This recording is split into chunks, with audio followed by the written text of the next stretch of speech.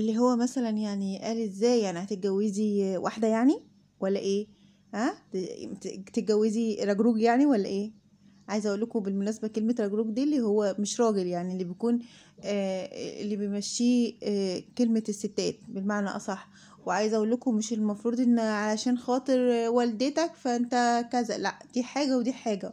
والزوجة بيكون ليها معاملة وطبعا الأم آه كذلك بيكون لها معاملة وكل حد بيكون له معاملة سبحان الله زي ما ربنا قال آه زي ما ربنا قال بالظبط خلاص؟ فمش عشان أنت يعني مش عشان أنت والدته يعني آه، هتيجي بقى يكون لك أوضة معانا في الشقة لأ يعني ما ينفعش. هنا بقى وستوب خلاص. السلام عليكم ورحمة الله وبركاته. إزيكم؟ عاملين إيه؟ إن شاء الله يا رب تكونوا بخير. وحشتوني جدا جدا من آخر فيديو عملناه مع بعض. عايزة أقول لكم آخر فيديو تقريبا بقاله شهر وأسبوع حاجة زي كده شهر ونص. فوحشتوني جدا وإن شاء الله تكونوا بخير. وكل سنة وأنتم طيبين وسنة سعيدة عليكم يا رب. واللهم بلغنا رمضان لا فاقدين ولا مفقودين. وما تنسوش إخواتنا من الدعاء آه، من الدعاء كل يوم. ما تنسوش ربنا معاهم يا رب ويكرمهم بإذن الله تعالى. اللهم آمين يا رب العالمين.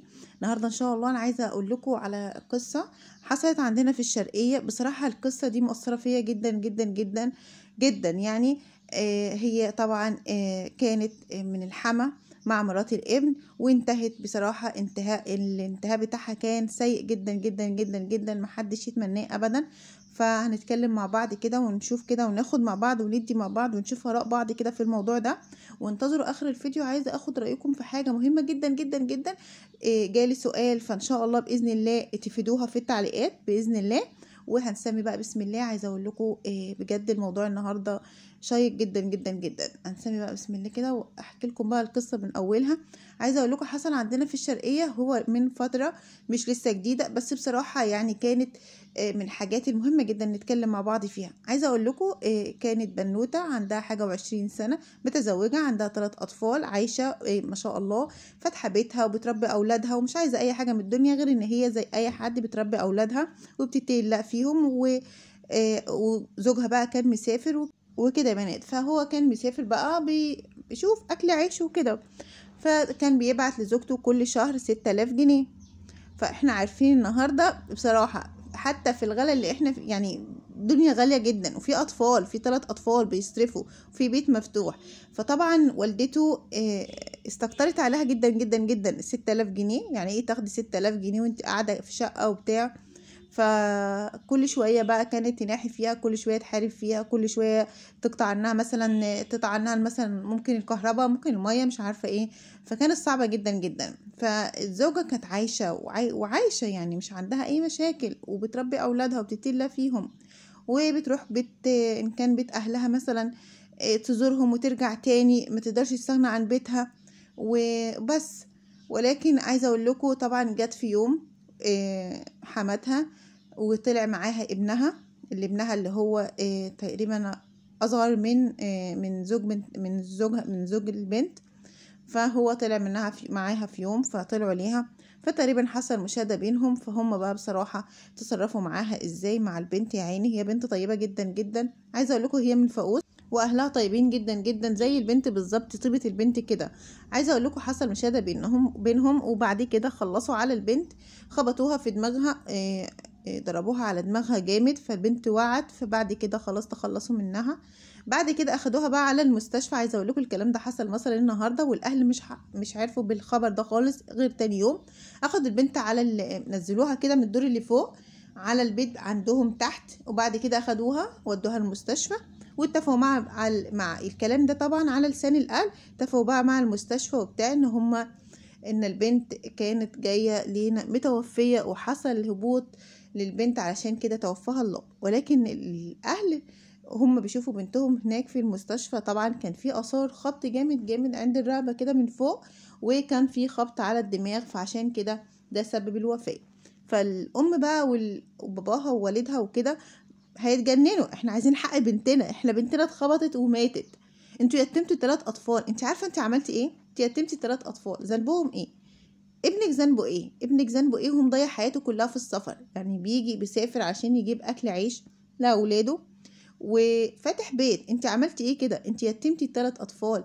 ثلاث أطفال شافوا امهم وهي بتموت. ثلاث أطفال شافوكوا وانتوا بتعذبوهم. يعني يعني إيه؟ يعني أنا مش فاهمة. يعني إزاي؟ طيب إزاي؟ يعني جالك قلب إزاي؟ انت مش عندك مش عندك بنات مش عندك أولاد إزاي ما تخافيش؟ يعني مش في بنت في البنت دي ليه؟ المفروض كل حد كل حد آه إن كان حما أو مرات الابن أو الزوج أو أي حد الله في بعضه. يعني هيحصل إيه يعني لو اتعاملنا بما يرضي الله؟ هيحصل إيه لو الناس اتعاملت كويس؟ هيحصل إيه لو لو اتقينا الله في ال... في الإنسان اللي معانا وفي الإنسانة اللي معانا وانت عملتيها زي بنتك وهي اتعاملت زي زي والدتها بالظبط؟ هيفرق إيه معاكم؟ أنا مش فاهمة بصراحة. يعني يعني إيه ستة آلاف جنيه؟ عشان ستة آلاف جنيه تستكتري على على أولاد ابنك الشقيان التعبان بيهم؟ ما هو لو شاف كده مش كان هيبعت لها. لكن الدنيا غالية جدا. كان أطفال عايزة أكل وشرب وبامبرز وحاجات زي ما إحنا كلنا عارفين. فأنا عايزاكم تدعوا لساره كتير جدا جدا. ربنا يرحمها ويغفر لها يا رب.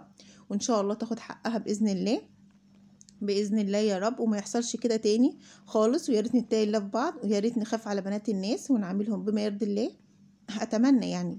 آه الحاجة التانية بقى عايزه أقول لكم آه في بنوتة هي مخطوبة وكل حاجة بس خطيبها عايزه أقول لكم بيعاملها آه كويس جدا. هو طيب جدا جدا جدا ولكن والدته مسيطرة جدا جدا. يعني لدرجة لدرجة كبيرة ما تقدروش تتخيلوها ابدا. يعني يعني عايزة أقول لكم آه والدته آه مثلا هقول لكم إزاي. هي مثلا تقول لهم هم قاعدين إيه؟ ده أنا هيكون لي أوضة عندكم في البيت. لازم يكون له أوضة عندكم في البيت. وأنا هجيب بنتي مثلا وأجيب ولادي وأجي أقعد معاكم في البيت. فاهميني؟ إيه مثلا لو حصل أي حاجة أو أي خلاف أو أي هم قاعدين مع بعض كده إيه أخته تزعق له مثلا وهو ما يقدرش يرد عليها. ممكن مثلا والدته مثلا تقول له كلام جارح مثلا هو أو مثلا تقول لخطيبته كلام كتير هو قاعد ما يقدرش حتى يقول أي حاجة خالص خالص خالص.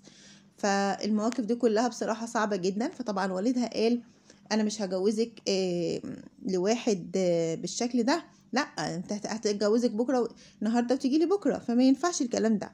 فطبعا هي مش عارفة تعمل إيه. هو طبعا ملوش كلمة خالص كلمة كلها كلمة والدته. هو كانوا متفقين يقعدوا في مكان وبعد كده والدته قالت لأ هو مش هيبعد عني وهيجي البيت وهيعيش معانا ولازم يكون لي أوضة هناك أنا وبناتي.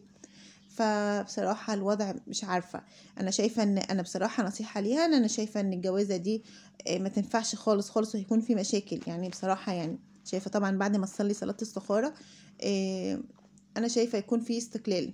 يعني عادي نكون الناس كويسين مع بعض نكون كويسين مع بعض وقريبين من بعض ولكن كل واحد يكون في مكان دي ما فيهاش أي حاجة خالص. هو استقرار وكل واحد بكل خصوصية دي ما فيهاش أي حاجة. حتى أمهاتنا كل حد له خصوصية فلازم آه لازم لازم نحترم الحتة دي عشان إحنا عندنا أولاد. فانصحوها كده في التعليقات واكتبوا لها رأيكم إيه وإن شاء الله بإذن الله هقرأ كل التعليقات وهي هتقرأ كل التعليقات إن شاء الله. آه ما تنسوش تدعوا لساره كتير جدا جدا جدا جدا جدا. ما تنسوش تدعوا لأخواتنا كتير جدا جدا جدا. ربنا معاهم يا رب. وأتمنى لكم إن شاء الله بإذن الله آه سنة تكون سعيدة عليكم. أتمنى لكم إن شاء الله بإذن الله ربنا يفرجها عليكم جميعا يا رب. ورمضان يدخل كده بإذن الله بإذن الله. وكلكم تكونوا كويسين و... و... وربنا يفرجها على الجميع يا رب. اللهم آمين يا رب العالمين. كثفوا الدعاء اليومين دول كتير على قد ما تقدروا. ربنا يرزق الجميع يا رب. اللهم آمين. وأشوفكم إن شاء الله بإذن الله في فيديو جديد. وأي حاجة أي حاجة اكتبوا لي في التعليقات وإن شاء الله نكون مع بعض. بحبكم في الله أستودعكم الله. السلام عليكم ورحمة الله وبركاته. مع السلامة.